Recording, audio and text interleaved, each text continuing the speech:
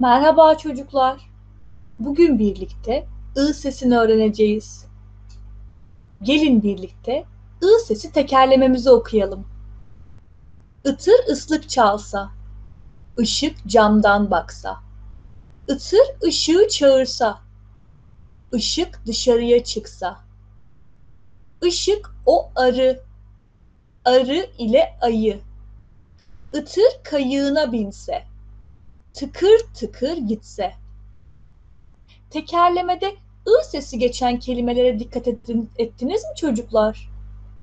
Itır, ıslık, ışık, ayı, arı, kayık. Şimdi ı sesinin yazımına bakalım. Küçük ı sesinin yazımına ve çalıştığımız aralığa dikkat edin lütfen çocuklar.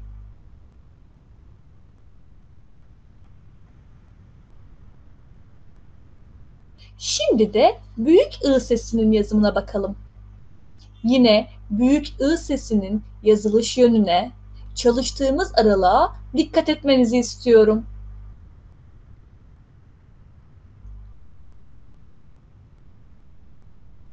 Hadi birlikte ı sesi bulunan kelimelere bakalım. Saksı. Saksı kelimesinin sonunda ı sesi var. Yılan. Yılan. Yılan kelimesinin ortasında ı sesi var. Balık. Balık kelimesinin ortasında ı sesi bulunur. Mısır. Mısır. Mısır kelimesinde iki tane ı sesi var. Ispanak.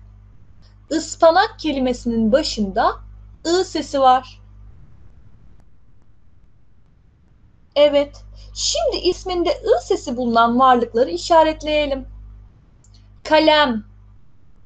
Kalem kelimesinde ı sesi bulunmaz çocuklar. Kapı.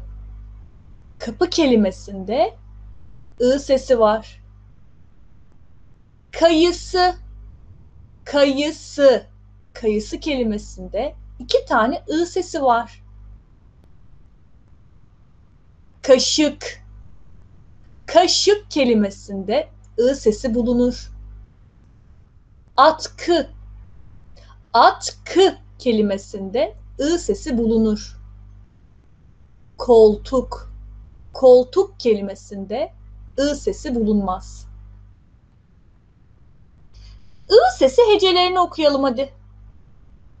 Il, ıl, ık, ım, ım, ıt, ıy, lı, mı, mı, tı, y. Evet, ı sesi metnimizi okuyalım şimdi de çocuklar. Irmak, ırmak tanı, ırmak atanı tanı. Irmak komutan atanı tanı. Irmak yürekli komutan atanı tanı. Irmak komutan atanı tanı. Irmak atanı tanı.